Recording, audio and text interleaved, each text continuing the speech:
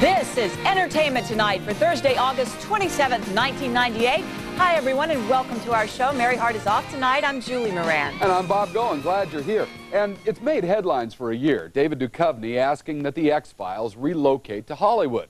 Well, now they are here, and our Lisa Canning was on the set as the fists were flying in this E.T. First. We're on the set of The X-Files where they've gone back in time to 1939. And as you can see, Scully and Mulder have their hands full. Action! I'm all bruised up, as you can see, and oh. got bruises all over my knees because I wasn't wearing knee pads yesterday. You've got your knee pads on. Can we get a shot of the knee pads? What is the man's name?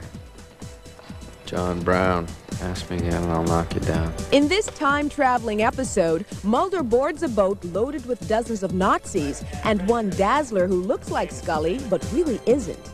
um, Miss Scully look-alike in 1939. But the passion between these two becomes very real. I understand there's a kiss in this episode. Yeah, oh yeah, yeah, big one. How would I describe that kiss? Um, wet? Wasn't wet. There's no involved, but it's there's a lot of there's a lot of something there.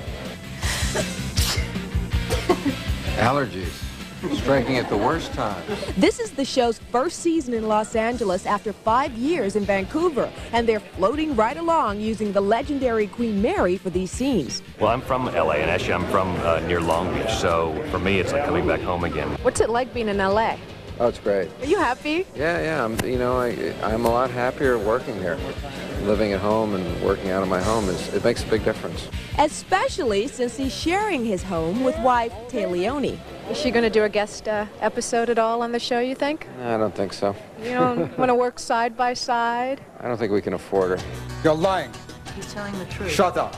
Truth is, these are happy days for everyone on board. The X-Files is nominated for 16 Emmys, including acting nods for David and Gillian. We've always gone uh, and never gone up on stage, so hopefully this year, the fourth time will be the charm. As long as Dennis Franz is out there, I'm just happy to be nominated. You know, because he's going to win every time.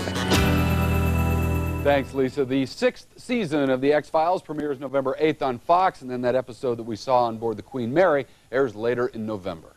Well, it looks like Nash.